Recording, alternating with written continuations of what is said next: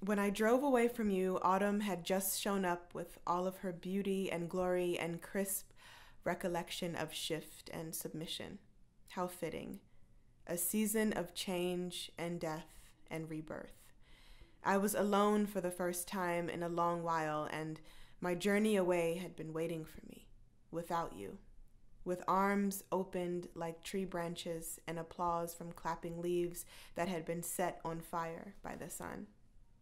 When I drove away from you with nothing but my heart on my sleeve and the ocean in my eyes, the whole world opened up like parting skies and blooming belonging that I'd been begging to be free. I was alone for the first time in a long while, and the voyage back home looked like the love I'd been waiting for.